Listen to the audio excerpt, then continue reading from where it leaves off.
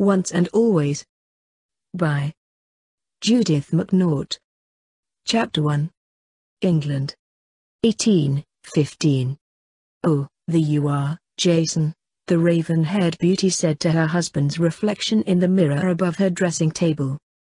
Her gaze slid warily over his tall, rugged frame as he came toward her, then she returned her attention to the open jewel cases spread out before her.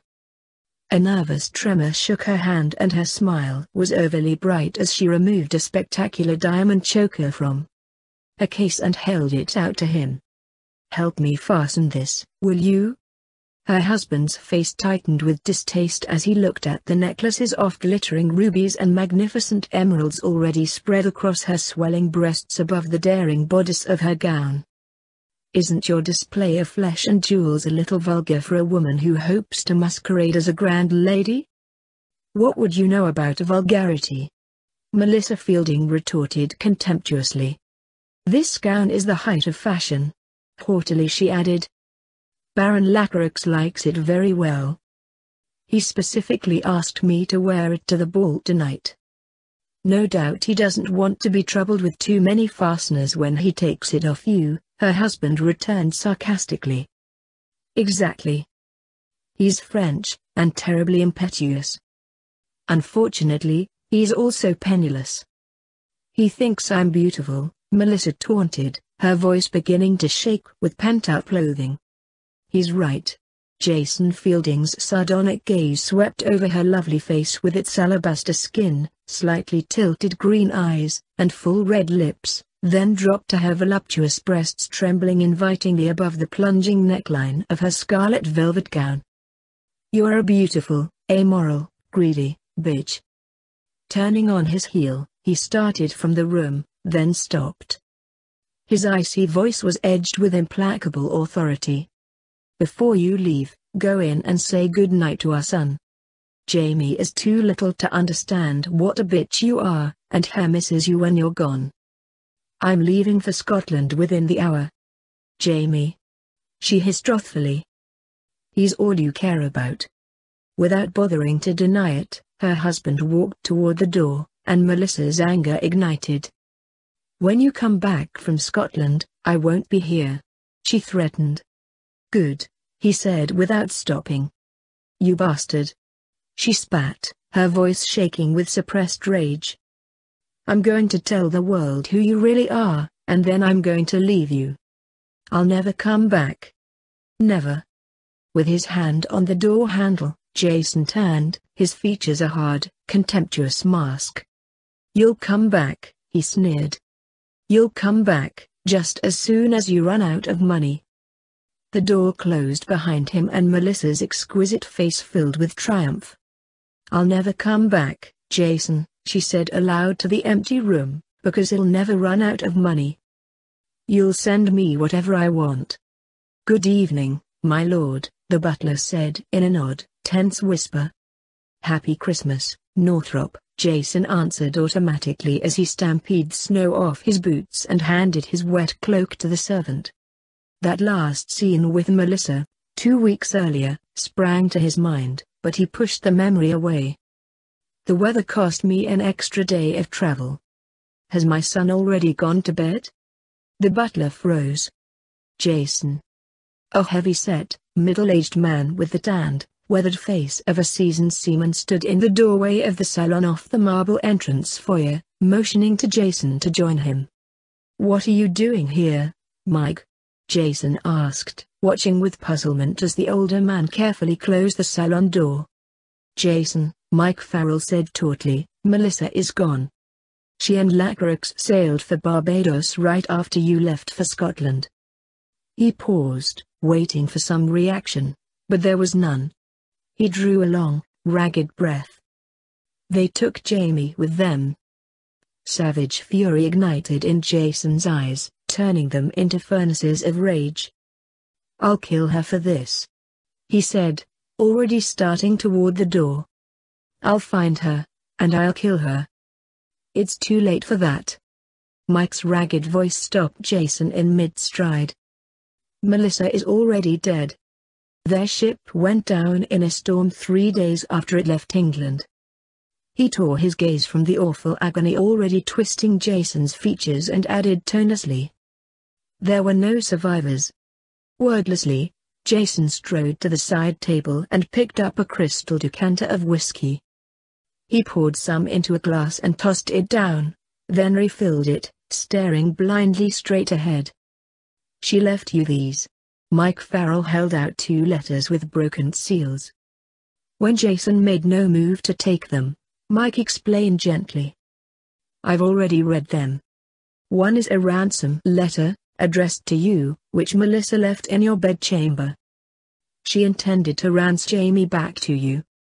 The second letter was meant to expose you, and she gave it to a footman with instructions to deliver it to the Times after she left. However, when Flossie Wilson discovered that Jamie was missing, she immediately questioned the servants about Melissa's actions the night before, and the footman gave the letter to her instead of taking it to the Times as he was about to do. Flossie couldn't reach you to tell you Melissa had taken Jamie, so she sent for me and gave me the letters. Jason, Mike said hoarsely, I know how much you love the boy. I'm sorry. I'm so damned sorry. Jason's tortured gaze slowly lifted to the gilt-framed portrait hanging above the mantel. In agonized silence he stared at the painting of his son, a sturdy little boy with a cherubic smile on his face and a wooden soldier clutched lovingly in his fist. The glass Jason was holding shattered in his clenched hand. But he did not cry. Jason Fielding's childhood had long ago robbed him of all his tears. Portage, New York. 1815. Snow crunched beneath her small, booted feet as Victoria Seaton turned off the lane and pushed open the white wooden gate that opened into the front yard of the modest little house where she had been born. Her cheeks were rosy and her eyes bright as she stopped to glance at the starlit sky, studying it with the unspoiled delight of a 15-year-old at Christmas. Smiling, she hummed the last bars of one of the Christmas carols she'd been singing all evening with the rest of the carolers, then turned and went up the walk toward the darkened house. Hoping not to awaken her parents or her younger sister, she opened the front door softly and slipped inside. She took her off her cloak, hanging it on a peg beside the door, then turned around and stopped in surprise. Moonlight poured through the window at the top of the stairway, illuminating her parents, who were standing just outside her mother's bedroom. No, Patrick. Her mother was struggling in her father's tight embrace. I can't. I just can't. Don't deny me, Catherine, Patrick Seaton said, his voice raw with pleading. For God's sake, don't. You promised. Catherine burst out, trying frantically to pull free of his arms. He bent his head and kissed her, but she twisted her face away, her words jerking out like a sob. You promised me on the day Dorothy was born that you wouldn't ask me to again. You gave me your word. Victoria, standing in stunned, bewildered horror, dimly realized that she had never seen her parents touch one another before, not in teasing, nor kindness, but she had no idea what it was her father was pleading with her mother not to deny him. Patrick let go of his wife, his hands falling to his sides. I'm sorry, he said stonily.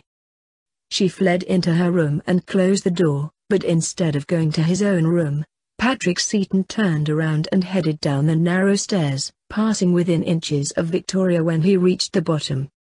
Victoria flattened herself against the wall, feeling as if the security and peace of her world had been somehow threatened by what she had seen.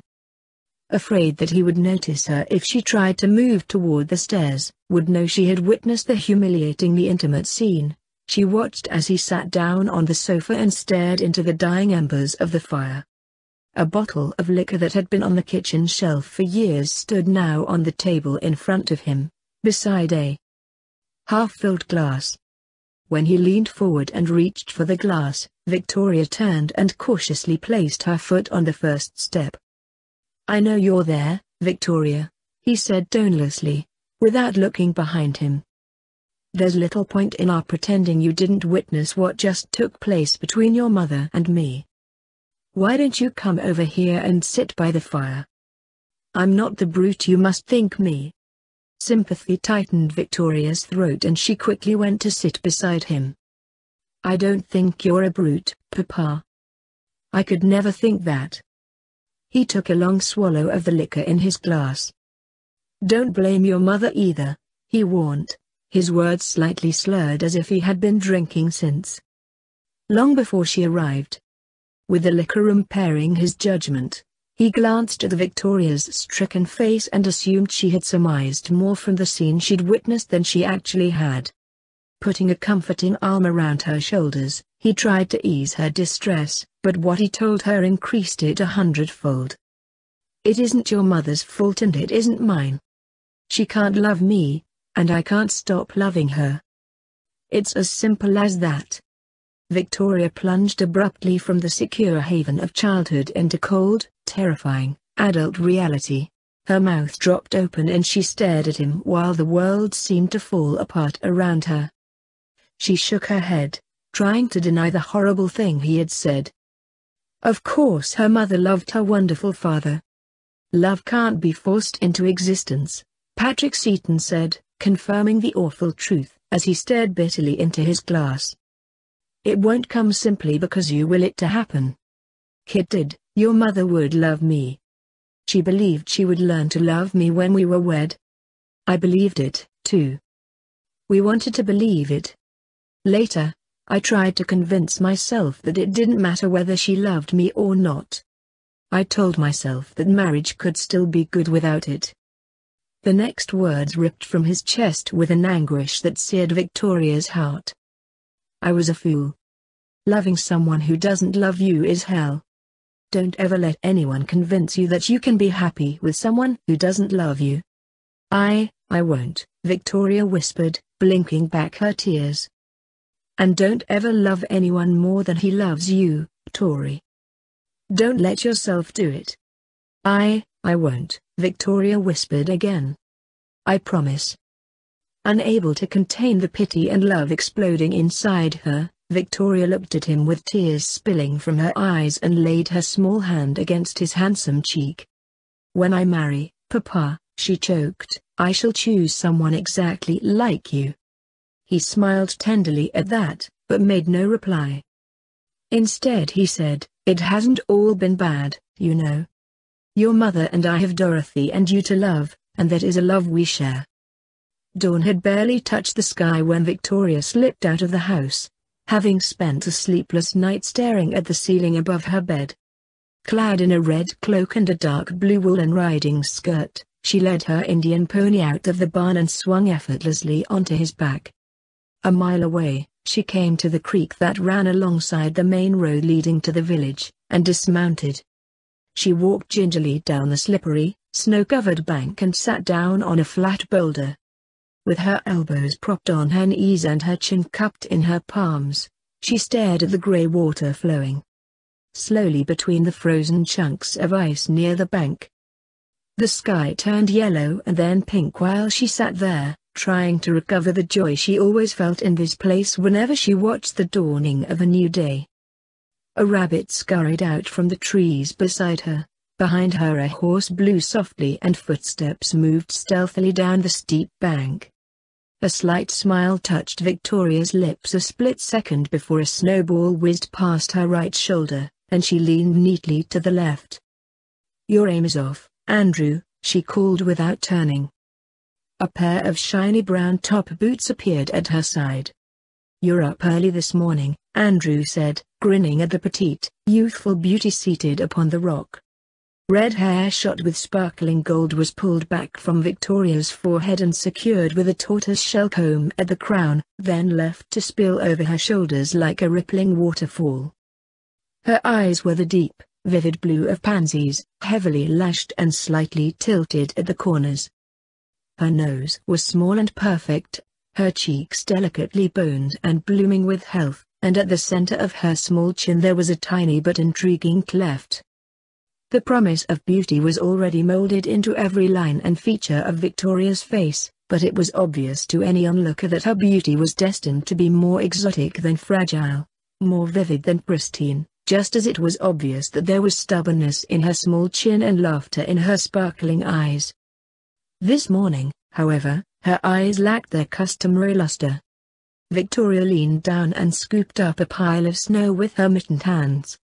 Automatically Andrew ducked, but instead of launching the snowball at him, as she would normally have done, she threw it into the creek. What's wrong, Bright Eyes, he teased. Afraid you'll miss? Of course not, Victoria said with a morose little sigh. Move over and let me sit down. Victoria did so, and he studied her sad expression with mild concern. What has you looking so grim? Victoria was truly tempted to confide in him. At twenty, Andrew was five years her senior and wise beyond his age. He was the only child of the village's wealthiest resident, a widow of seemingly delicate health who clung possessively to her only son at the same time that she relinquished to him all responsibility for the running of their huge mansion and the 1,000 acres of farmland surrounding it. Putting his gloved finger beneath her chin, Andrew tipped her face up to his. Tell me, he said gently. This second request was more than her heartsick emotions could withstand. Andrew was her friend. In the years they had known each other, he had taught her to fish, to swim, to shoot a pistol, and to cheat at cards. This last he claimed to be necessary so she would know if she was being cheated. Victoria had rewarded his efforts by learning to outswim, outshoot, and outcheat him. They were friends, and she knew she could confide almost anything to him. She could not, however, bring herself to discuss her parents' marriage with him. Instead she brought up the other thing worrying her, her father's warning, Andrew, she said hesitantly, how can you tell if someone loves you? Truly loves you, I mean? Who are you worried about loving you? The man I marry. Had she been a little older, a little more worldly, she would have been able to interpret the tenderness that flared in Andrew's golden brown eyes before he swiftly looked away. You'll be loved by the man you marry, he promised. You can take my word for it but he must love me at least as much as I love him. He will. Perhaps, but how will I know if he does? Andrew cast a sharp, searching look at her exquisite features. Has some local boy been pestering your papa for your hand? He demanded almost angrily. Of course not. She snorted. I'm only 15, and papa is very firm that I must wait until I'm 18, so I'll know my own mind. He looked at her stubborn little chin and chuckled. If knowing your own mind is all Dr. Seaton is concerned about, he could let you wed tomorrow. You've known your own minutes since you were ten years old. You're right, she admitted with cheerful candor. After a minute of comfortable silence, she asked tidily. Andrew, do you ever wonder who you'll marry? No, he said with an odd little smile as he stared out across the creek. Why not? I already know who she is. Startled by this amazing revelation, Victoria snapped her head round. You do? Truly? Tell me. Is it someone I know? When he remained silent, Victoria shot him a thoughtful, sidewise look and began deliberately packing snow into a hard ball. Are you planning to try to dump that thing down my back? He said, watching her with wary amusement. Certainly not, she said, her eyes twinkling. I was thinking more in the line of a wager. If I can come closer to that rock atop the farthest boulder over there, then you must tell me who she is. And if I come closer than you do? Andrew challenged. Then you may name your own forfeit, she said magnanimously. I made a dire error when I taught you to gamble, he chuckled, but he was not proof against her daring smile. Andrew missed the far-off target by scant inches. Victoria stared at it in deep concentration, then she let fly, hitting it dead-on with enough force to send their rock tumbling off the boulder along with the snowball. I also made a dire error when I taught you to throw snowballs. I always knew how to do that, she reminded him audaciously, plunking her hands on her slim hips. Now, who do you wish to marry? Shoving his hands into his pockets, Andrew grinned down at her enchanting face. Who do you think I wish to marry, Blue Eyes? I don't know, she said seriously, but I hope she is very special, because you are. She's special, he assured her with gentle gravity. So special that I even thought about her when I was away at school during the winters. In fact, I'm glad to be home so I can see her more often. She sounds quite nice, Victoria allowed primly, feeling suddenly and unaccountably angry at the unoffending female. I'd say she's closer to wonderful than quite nice. She's sweet and spirited, beautiful and unaffected, gentle and stubborn. Everyone who knows her comes to love her. Well then, for heaven's sake, why don't you marry her and have done with it? Victoria said grimly. His lips twitched, and in a rare gesture of intimacy, Andrew reached out and laid his hand against her heavy, silken hair. Because, he whispered tenderly, she's still too young. You see, her father wants her to wait until she's 18, so she'll know her own mind. Victoria's enormous blue eyes widened as she searched his handsome face. Do you mean me? She whispered. You, he confirmed with smiling solemnity. Only you. Victoria's world, threatened by what she had seen and heard last night, suddenly seemed safe again, secure and warm. Thank you, Andrew, she said, suddenly shy. Then, in one of her lightning-quick transformations from girl to charming, gently bred young woman, she added softly. How lovely it will be to marry my dearest friend. I shouldn't have mentioned it to you without first speaking with your father, and I can't do that for three more years. He likes you immensely, Victoria assured him. He won't object in the least when the time comes. How could he, when you are both so much alike? Victoria mounted her horse a little while later feeling quite gay and cheerful, but her spirits plummeted as soon as she opened the back door of the house and stepped into the cozy room that served the dual purpose of kitchen and family gathering place. Her mother was bending over the hearth, busy with the waffle iron, her hair pulled back in a tidy chignon, her plain dress clean and pressed. Hanging from nails beside and above the fireplace was an orderly assortment of sifters, dippers, graters, chopping knives, and funnels. Everything was neat and clean and pleasant, just like her mother. Her father was already seated at the table, drinking a cup of coffee. Looking at them, Victoria felt self-conscious, sick at heart, and thoroughly angry with her mother for denying her wonderful father the love he wanted and needed. Since Victoria's sunrise outings were fairly common, neither of her parents showed any surprise at her entrance. They both looked up at her, smiled, and said good morning. Victoria returned her father's greeting and she smiled at her younger sister, Dorothy, but she could scarcely look at her mother. Instead, she went to the shelves and began to set the table with a full complement of flatware and dishes, a formality that her English mother firmly insisted was necessary for civilized dining. Victoria moved back and forth between the shelves and the table, feeling ill at ease and sick to her stomach, but when she took her place at the table, the hostility she felt for her mother slowly began to give way to pity.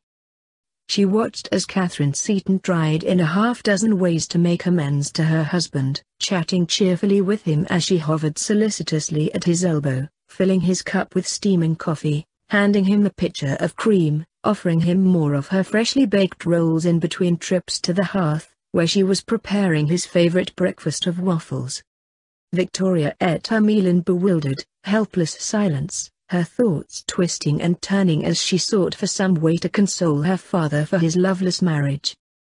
The solution came to her the instant he stood up and announced his intention of riding over to the Jackson farm to see how little Annie's broken arm was mending.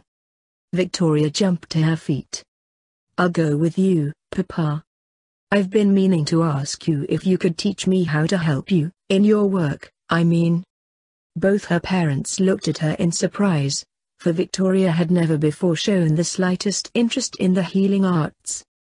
In fact, until then, she had been a pretty, carefree child whose chief interests were in gay amusements and an occasional mischievous prank.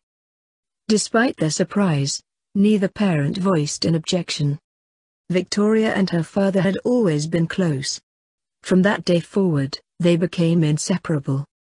She accompanied him nearly everywhere he went and, although he flatly refused to permit her to assist him in his treatment of his male patients, he was more than happy to have her help at any other time. Neither of them ever mentioned the sad things they had discussed on that fateful Christmas night. Instead they filled their time together with cozy conversations and light-hearted banter, for despite the sorrow in his heart, Patrick Seaton was a man who appreciated the value of laughter. Victoria had already inherited her mother's startling beauty and her father's humor and courage. Now she learned compassion and idealism from him as well. As a little girl, she had easily won over the villagers with her beauty and bright, irresistible smile. They had liked her as a charming, carefree girl, they adored her as she matured into a spirited young lady who worried about their ailments and teased away their sullens.